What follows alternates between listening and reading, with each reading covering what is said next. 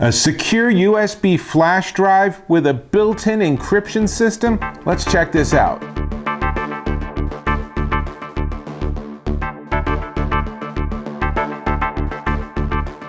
Dave Taylor here, and I'm looking at flash drives. You know, these ubiquitous USB devices you plug in and it gives you a bunch of storage space, and they're small, sometimes really small, sometimes that small. That's like the size of a piece of gum.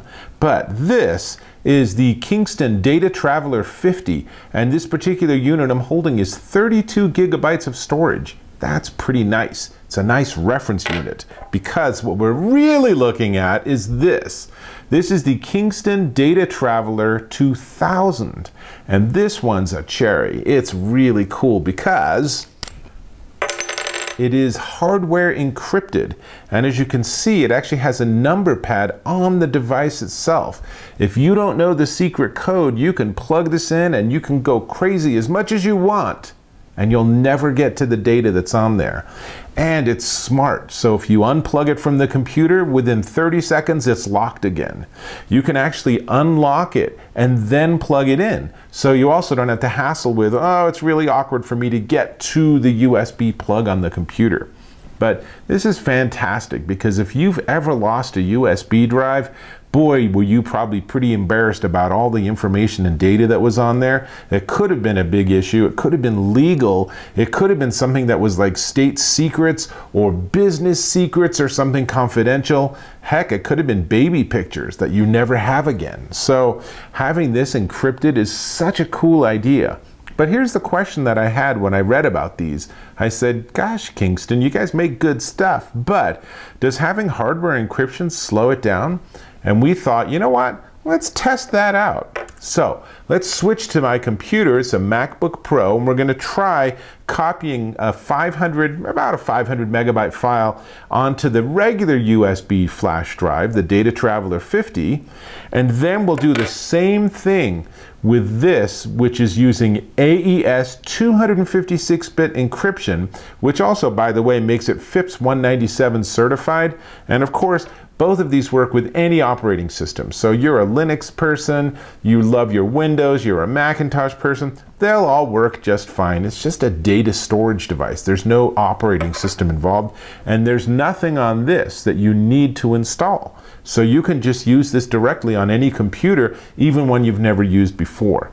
And as soon as you unplug it, it's encrypted again. I'm telling you, how cool is that? But let's go and run some tests. So let's switch around. We have this file on the desktop. Let's go ahead and look at how big it is. And it's 419 megabytes. That should be a good test. So we're gonna start with the Data Traveler 50. And I'll go ahead and put that in and this is just a regular old flash drive with, as they say, with USB 3.1, Kingston rates it at 110 megabytes read and 15 megabytes a second write.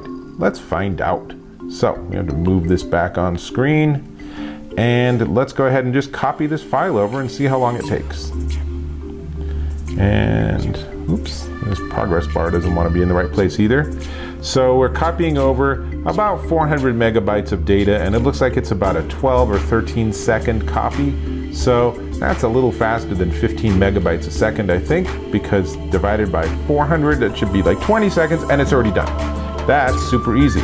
Now, let's rename it um, footage 2 and let's copy it back onto the desktop because now we can test not only the write but the read speed. And this should go a lot faster. As you saw, that was pretty fast for 400 megabytes. So that's looking good. We're gonna go ahead and delete this. And we're gonna go ahead and get rid of the Data Traveler 50. Now we're gonna do the same test with the Data Traveler 2000, but before we do that, I have to push the button and enter the secret code.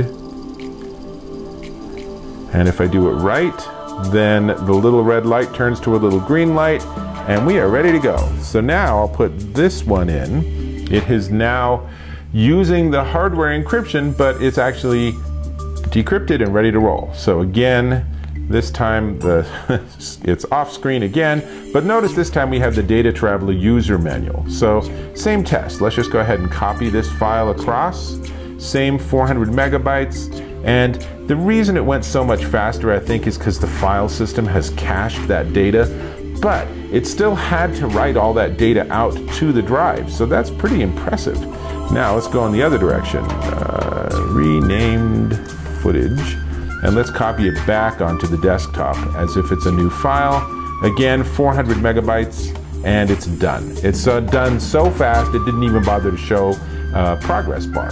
So that's pretty sweet. So let's now switch back so I'm on camera. That was pretty straightforward and it's still plugged in and notice even if I unplug the Data Traveler 2000, ah, it's instantly locked. That's pretty cool. How can I tell? If I push the little key button, it flashes the red button or the red light and that means it's locked.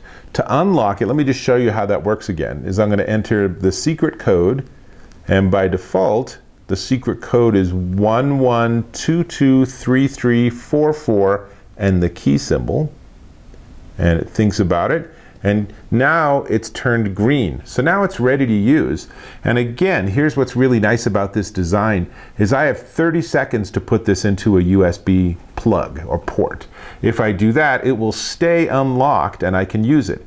If I forget to do that, or I don't have access to it, or I run out of time, or actually someone is forcing me to do this, whatever strange situation, it will lock itself again.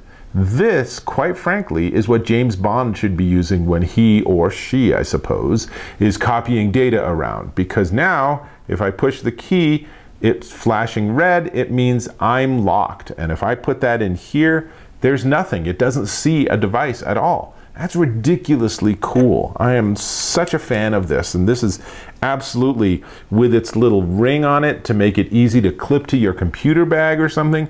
This is absolutely what I'm going to be working with in the future because I love the idea that if it gets lost, I am totally safe and protected. Then no one's going to guess this eight digit pin. Now, I still have it as the default, but it's really easy to change it to another eight digit or I suppose less number of digits pin that will actually be something memorable for you. But really a fan of both of these. They're both different purposes. They're both really nice flash drives. So before I get to the price though, go ahead and click on that subscribe button so you can subscribe to my channel. Very, very helpful. Thank you. Now, the Data Traveler 50. This is just honestly kind of your, your basic USB flash drive. It's fast, it's USB 3.1 and below, and it has a nice design. And what I like about it, there's no parts to miss. There's nothing to lose. There's no little covers to break or anything. It's just a straightforward thing. And you can see there's the red on the end and there's space so you could actually put this on a keychain or something. This guy goes up to 128 gigabytes depending on how much storage you need. The 32 gig is an insanely reasonable $12.95. The Data Traveler is a little bit more expensive because there's all of this hardware-based encryption and the buttons and the whole design is way more complicated. This is probably not something you should get just because it's cool. You should get this because you need this because the price tag on this 32 gig, same storage capacity. The 32 gig version of this is $129. And if you go up to 64 gig, which you can, then it gets kind of even more expensive. So Data Traveler 2000, Data Traveler 50, both of them really cool. You can check them both out at Kingston Technology. This is Dave Taylor, and I'll catch you in my next video.